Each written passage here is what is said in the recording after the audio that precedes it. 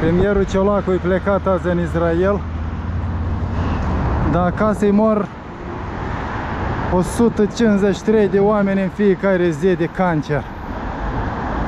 Și guvernul nu face mare lucru ca să salveze oamenii ăștia care mor cu zile.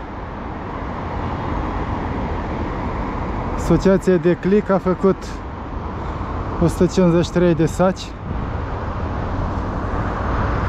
A dus să-i afișeze.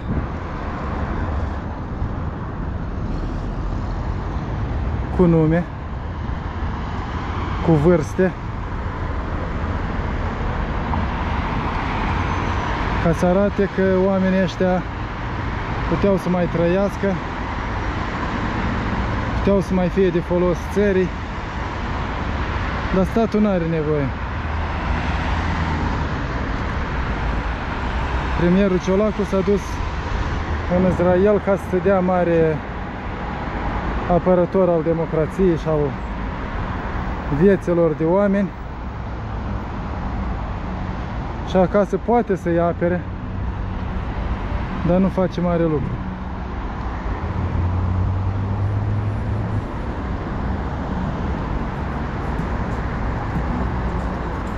E plină piața, 153 de oameni, uite așa arată 153 de cadavre. Morga e plină.